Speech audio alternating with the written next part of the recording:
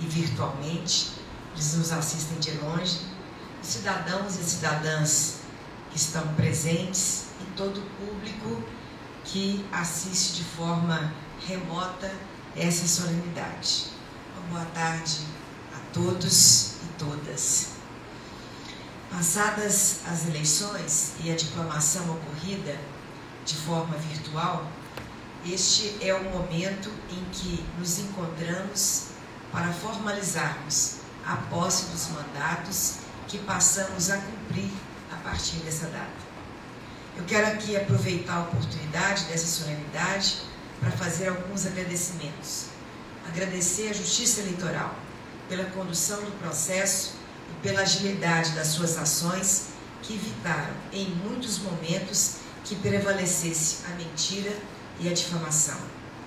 Agradeço às polícias militar, civil e federal pela atuação vigilante, principalmente no segundo turno. Agradeço a todos e a todas que participaram como candidatos e candidatas, em especial os que fizeram campanhas limpas e honestas, pois desta forma ajudaram no avanço da nossa democracia.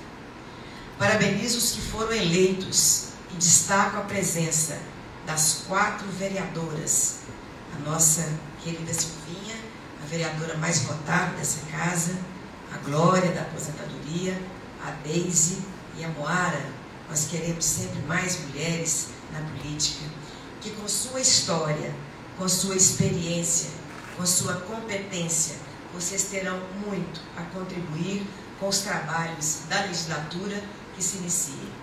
Por fim, agradeço ao povo de Contagem por ter me concedido a oportunidade de exercer pela terceira vez o mandato de prefeito.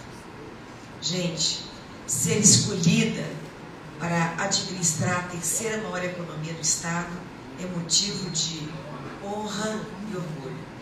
Tenham a certeza de que eu vou trabalhar de forma incansável para que a nossa cidade se reencontre com ela mesma e volte a ser, como repetimos várias vezes durante a campanha, feliz de novo.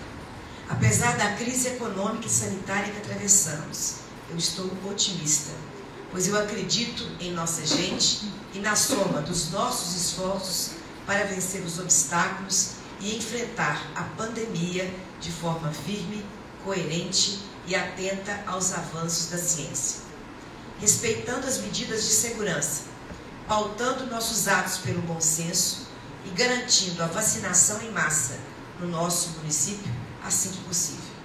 Da nossa parte, vamos potencializar as iniciativas da Prefeitura para aquecer a economia local e buscar meios e recursos para retomarmos o caminho do desenvolvimento e da geração de trabalho e renda.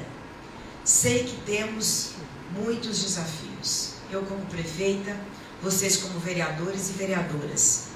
Também cada cidadão e cidadã, pois é nosso dever, além de votar, acompanhar de perto as ações do Executivo e do Legislativo.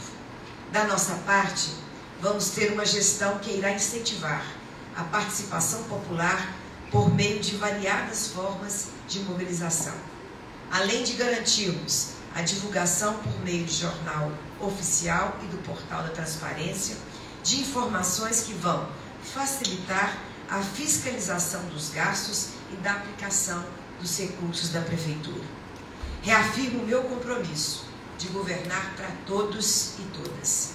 Para os 147.768 eleitores e eleitoras que me deram seu voto no segundo turno, e também para os demais que votaram no segundo colocado, ou que se abstiveram, ou que votaram branco ou nulo. Vou governar com diálogo, respeitando as diferenças, sem raiva, sem rancor. Vou governar para todas as regiões, sem discriminar nenhuma delas. Exatamente como eu fiz em mandatos anteriores. As eleições acabaram no dia 29 de novembro e não há mais palanque armado. Os ataques rasteiros e covardes que sofremos e denunciamos, de triste memória, foram superados pela maioria da população que nos elegeu, por acreditar na verdade, no nosso projeto político e em minha trajetória de vida. A hora agora é de unirmos homens e mulheres de bem que queiram fazer o melhor pela nossa cidade.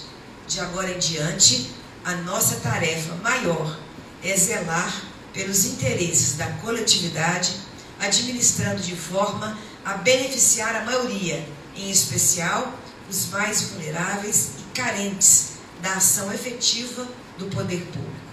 E faremos isso de forma austera, transparente, dedicada e eficaz. É a partir destes princípios que espero estabelecer com essa casa uma convivência produtiva e frutífera, de respeito e autonomia, e a representatividade de cada um e de cada um.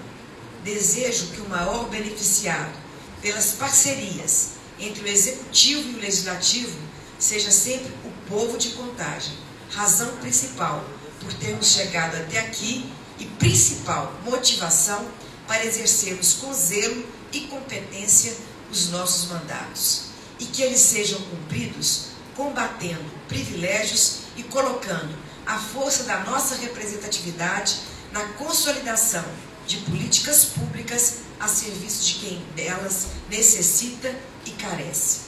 A todas e todos eu deixo meu abraço fraterno e que possamos colocar nossas melhores energias a serviço deste povo honesto e trabalhador que sustenta a pujança do nosso município. Eu desejo que 2021 seja um ano melhor, com mais saúde, com mais empregos, com mais abraços, com mais sorrisos. Que a nossa cidade a nossa gente sintam-se abençoados e iluminados de forma permanente. Muito obrigada, sucesso para todos e todas.